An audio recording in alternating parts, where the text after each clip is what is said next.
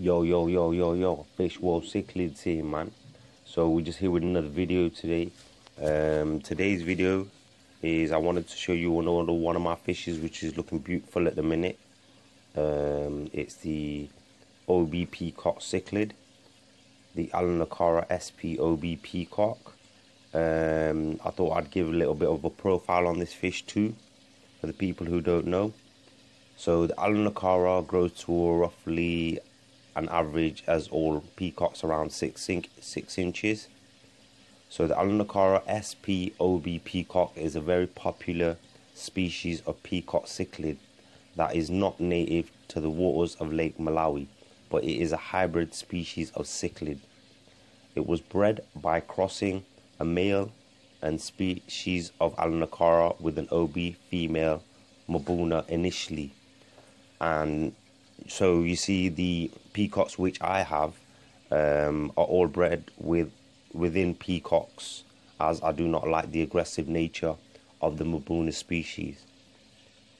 So several variants of the OB peacock have been introduced into the hobby. Male OB peacock cichlids can be found in a variety of colors that range from yellow and orange to red and blue. All OB males and females have a distinct spotting pattern that is unique to each fish, making no two fish look alike. However, female OB peacocks do not display the bright colors that males display in peacocks.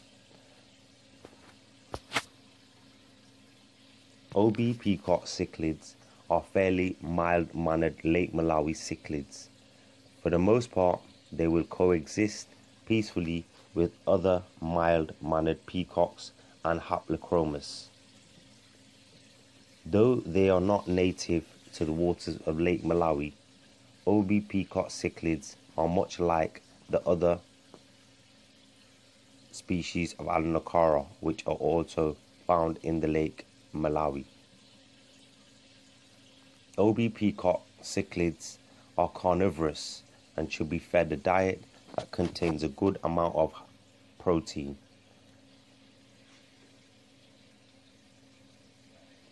Flakes and commercially prepared pellets, along with occasional supplements of live or frozen bloodworms or brine shrimp, such foods will help bring out their bright metallic colors. So as you can see,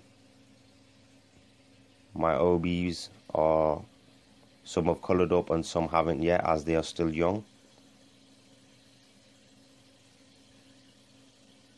Mines I have here are the orange blotch variety of OBs which have the more orange and blues to them.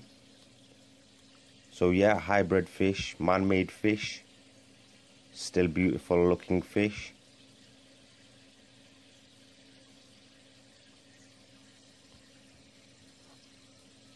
So yeah, hope you like the profile. Same again, drop a like to the video. Show some lightness for the fish. A beautiful fish. Deserves a like. Many people have got mixed opinions about hybrids.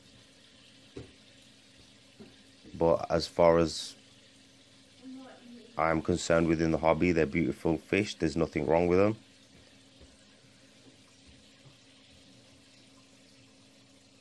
So yeah, drop a like to the video and same again. Thanks again everybody for leaving nice comments, leaving likes.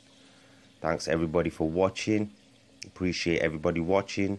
Everybody and till next time. Peace out.